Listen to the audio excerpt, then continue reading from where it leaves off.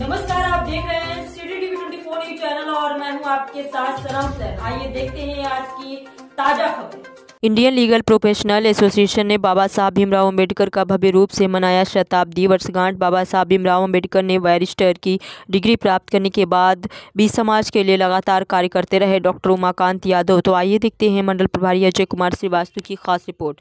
वाराणसी में बाबा साहब डॉक्टर भीमराव अंबेडकर को बैरिस्टर की डिग्री प्राप्त हुई है। सौ साल हो चुके हैं जिसका सौ शताब्दी वर्षगांठ इंडियन लीगल प्रोफेसर एसोसिएशन के प्रोफेशनल एसोसिएशन के माध्यम से कचहरी स्थित अंबेडकर पार्क में भव्य रूप से मनाया गया। उक्त समारोह में अधिवक्ताओं के सामाजिक जिम्मेवारी के बगैर समतामूलक समाज का निर्माण नहीं हो सकता। अर्थात सामाजिक न्याय की लड़ाई लड़े बगैर व्यवस्था परिवर्तन संभव नहीं है।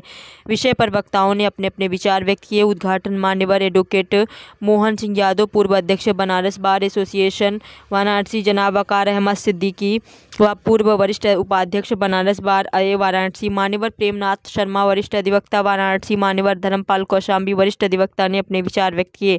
कार्यक्रम की अध्यक्षता करते हुए डॉक्टर उमाकांत यादव ने लोगों को बताया कि बाबा साहब भीमराव अंबेडकर ने बैरिस्टर की डिग्री प्राप्त करने के बाद भी समाज के लगातार कार्य करते रहे। साथ ही हम सभी अधिवक्ताओं को समाज का उत्थान करने के लिए, न्याय का लड़ाई लड़ने के लिए साथ साथ सामाजिक उत्थान की लड़ाई सड़कों पर आकर लड़नी पड़ेगी। बैठक में मुख्य रूप से एडवोकेट शंभू शरण चौरसिया, एडवोकेट अशोक कुमार, पूर्व उपाध्यक्ष बनारस बार वाराणसी, एडवोकेट कमलेश सिंह यादव, प्रत्याशी महामंत्री बनारस बार वाराणसी, एडवोकेट राजेश गुप्ता, प्रत्याशी महामंत्री central bar Varanasi advocate Vishal Maurya, पूर्व उपाध्यक्ष central bar Varanasi advocate Dharmraj Patel, advocate Rajesh Kumar, Prajapati वर्तमान कोषाध्यक्ष बनारस, बार वाराणसी एडवोकेट लाल बहादुर लाल वर्तमान कोषाध्यक्ष central bar Varanasi advocate Prabhat Singh प्रत्याशी अध्यक्ष central bar Varanasi advocate Om Prakash Rajbhar प्रत्याशी वरिष्ठ उपाध्यक्ष बनारस बार वाराणसी एडवोकेट अवधेश सिंह पटेल पूर्व उपाध्यक्ष central bar Varanasi advocate Sunil Chauhan पूर्व उपाध्यक्ष central bar Varanasi advocate Ashok Kumar Verma पूर्व संपूर्ण मंत्री प्रशासन Banaras bar Varanasi advocate Kalpana Patel Varanasi advocate Bhaiya Lal Bhargo Varanasi advocate Sita Devi Varanasi advocate Amit Sonkar Pintu Varanasi advocate Dharmendra Patel पूर्व कोषाध्यक्ष Banaras, bar, Varanasi. Advocate Dinesh Vishwakarma I L P A जिला महासचिव संगठन, Varanasi. Advocate Manoj Kanaujia पूर्व पुस्तकालय मंत्री, central bar, Varanasi. Advocate Ram Renu Chandan पूर्व पदाधिकारी एडवोकेट विवेक कुमार प्रत्याशी, संयुक्त मंत्री प्रशासन सीबीए एडवोकेट राधेश्याम शर्मा, पूर्व पुस्तकालय मंत्री बीबीए एडवोकेट मुकेश विश्वकर्मा, वर्तमान संयुक्त मंत्री बीबीए एडवोकेट जितेंद्र यादव, प्रत्याशी उपाध्यक्ष सीबीए एडवोकेट कन्हैया पटेल, पूर्व महामंत्री सीबीए एडवोकेट रामाश्रय पटेल, पूर्व महामंत्री सीबीए एडवोकेट मोहन यादव, उपाध्यक्ष CBA advocate Rajesh Yadav advocate doctor Shiv Pujan Yadav ने अपने विचार व्यक्त किए। संचालन डॉक्टर एड रामराज ने तथा समापन मोहसिन रजा ने किया।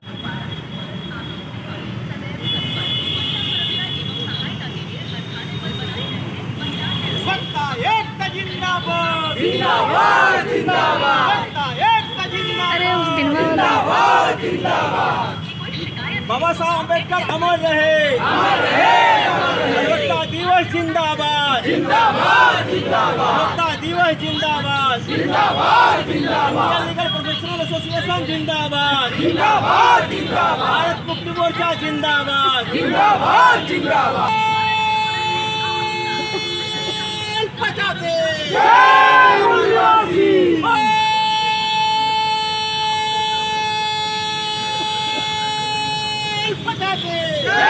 उल्लासी Ram Renu Chandan advocate I L P A का पूर्व भूतपूर्व महासचिव। आज अधिवक्ता दिवस किस प्रकार से आपको मनाया आज पूरे भारत देश के लिए गौरव करने वाला था आज के दिन ही बोधिसत्व बाबा भीमराव अंबेडकर जी उन्नीस उनतीस जनवरी 1923 को अपनी बैरिस्टर की डिग्री लिया था।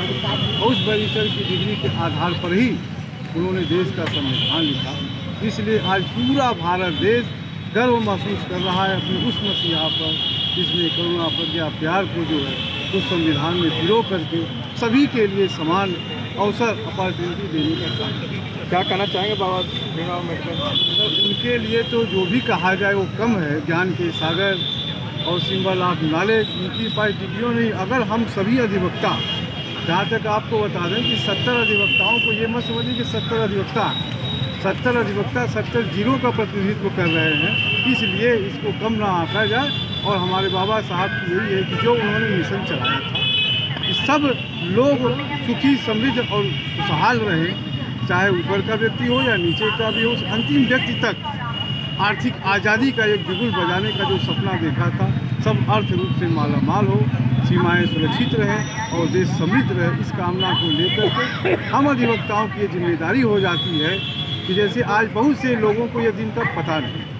लेकिन इस सत्तर अधिवक्ताओं को पता है कि अगले बार जो 101 में जो मनाया जाएगा उसमें कम से कम दस हज़ार लोगों की भीड़ यहाँ पे इस प्रांगण में उपस्थित हो जाएगी क्योंकि उनको जानकारी के अभाव में नहीं है। आए अधिवक्ता दिवस पर सरकार से कुछ मांग की गई सरकार से मांग कोई नहीं है क्योंकि सरकार जो मांग हम लोग मांगते हैं उसके विरोध में ही कार्य हाँ ये ज़रूरी है कि सरकार सभी जो अधिकार है सबसे पहले बात है कि अगर सरकार में बैठे लोग ई के माध्यम से 10 परसेंट आरक्षण ले लेते हैं तो उनको चाहिए कि जो बावन परसेंट आबादी वाला देश है, उसमें जो उनके सत्ताईस परसेंट की जगह बावन परसेंट आरक्षण देने का अधिकार पालन करें और ओबीसी की जाति आधारित जनगणना को वो ज़रूर लागू करें। या फिर उसको गिनती कराने का इसी सत्र में कार्य करें, नहीं तो फिर आगे ओबीसी वाले सोचेंगे क्या करना है। आगामी चुनाव आ रहा है इस संबंध में। क्या आप लोग क्या रहे है? आगामी चुनाव जो आगामी चुनाव होने वाला है उसमें निश्चित रूप से ओबीसी के सिद्धांतों और उनके उत्थान के लिए रख करके ही ओबीसी लोग चुनाव करेंगे और क्योंकि उनके अधिकार। पहली बात मैं ये बता दूँ कि जितनी भी सरकारें अब तक रही हैं ओबीसी के वोट के बगैर किसी की सरकार बनी नहीं। और ओबीसी को ही उस उमाकांत सिंह यादव। आज यहाँ किस प्रकार कार्यक्रम आज बैरिस्टर डे के रूप डॉक्टर भीमराव अंबेडकर जी को कोलंबिया विश्वविद्यालय से आज ही के दिन बैरिस्टर की डिग्री मिली थी। इसलिए इस इस दिन को हम लोग बैरिस्टर डे के रूप में मनाते हैं। सौ साल पूर्व आज शताब्दी है उनके बैरिस्टर डे बैरिस्टर की डिग्री मिलने की। क्या क्या किया गया था आज? यहाँ पर एकत्र होकर के हम लोग अधिवक्ताओं द्वारा जो उनकी सामाजिक ज़िम्मेदारी है उस पर एक गोष्ठी हुई। तमाम सारे लोग अपने विचार रखे अच्छे अच्छे विचार आए। जिसमें विषय था कि अधिवक्ताओं के सामाजिक ज़िम्मेदारी के बगैर समतामूलक समाज का निर्माण नहीं हो सकता और सामाजिक न्याय की लड़ाई, लड़े बगैर व्यवस्था परिवर्तन नहीं हो सकता है जिस पर हमारे सारे, तमाम सारे साथियों ने अपने विचार रखे और हम लोगों ने यह संकल्प लिया कि बाबा साहब के संविधान की रक्षा के लिए हम सब लोग समाज के अंदर अपनी व्यवस्था परिवर्तन की लड़ाई को जारी रखेंगे और इसके लिए समाज को जगाने का काम करेंगे। बाबा साहब के सपनों के अनुरूप बाबा साहब के सिद्धांतों को जन जन तक ले जाने के लिए और इस देश के अंदर बाबा साहब के इच्छा के अनुरूप शोषित पीड़ित और वंचित समाज को न्याय दिलाने का जो आज दौर है उस दौर में हम बाबा साहब के सिद्धांतों पर चल करके उसे दिलाने का काम अधिवक्ता दिवस पे कितने अधिवक्ता इसमें शामिल हुए? यहाँ कम से कम सत्तर अस्सी अधिवक्ता शामिल हुए क्योंकि रविवार का दिन था इसलिए हमने बहुत प्रचार नहीं हुआ था बहुत लोगों को जानकारी नहीं हो पाई थी क्योंकि कल शनिवार था आज सौ सैकड़ों अधिवक्ता यहाँ उपस्थित थे। आप फ़ोटो चाहेंगे तो मिल जाएगा।